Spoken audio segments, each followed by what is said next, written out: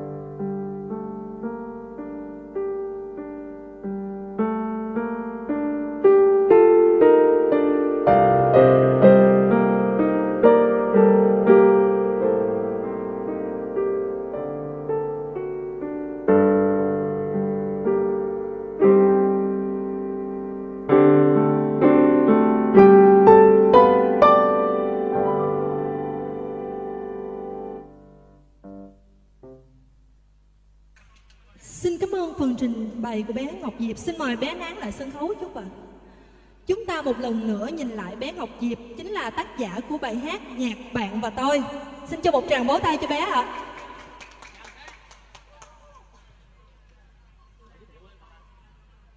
Tiếp theo